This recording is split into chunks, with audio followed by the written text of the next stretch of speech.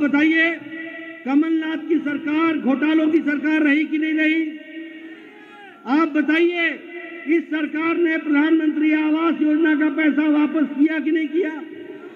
आप बताइए, कमलनाथ के रिश्तेदारों के घरों से ढेर सारा धन निकला कि नहीं निकला? आप बताइए, इनके खिलाफ केस चले कि नहीं चले? आप बताइए, इनका ओएसडी के घर से धन निकला कि नहीं निकला?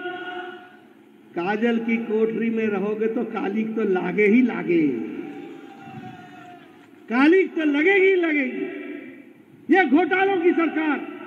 ऐसी सरकार आने देना है क्या? आने देना है क्या ऐसी सरकार? ये घोटालों की सरकार। और मित्रों, में एक बात और बता दूँ। ये चाहे गहलोत हो, चाहे बघेल हो, चाहे कमलनाथ हो, ये मुख्यमंत्री नहीं है।